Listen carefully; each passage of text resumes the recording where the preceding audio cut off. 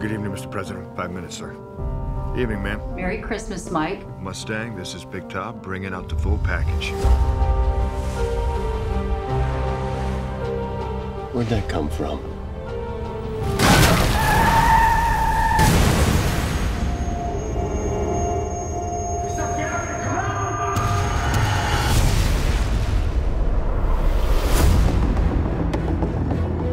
Everybody knows you did the right thing on that bridge. Even the president knows. You gotta learn how to get back into the real world.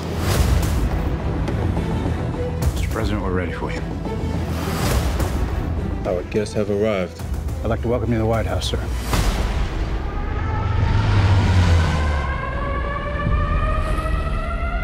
Sir, there's been an intrusion. Let's go. Move.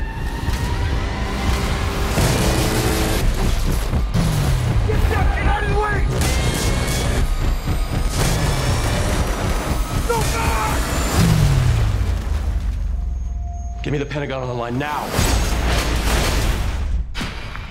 Olympus is falling. Olympus is falling. Mr. Speaker, you are the acting president. I want to speak for the Russians, the Chinese, the British, and the French, in that order. If you attempt to retake this building, I will execute Your commander in chief. Oh my God. We have contact from inside the White House. Identify yourself. 309er. Jesus, Banning? The same guy that was removed from the president's detail? He is ex-special forces.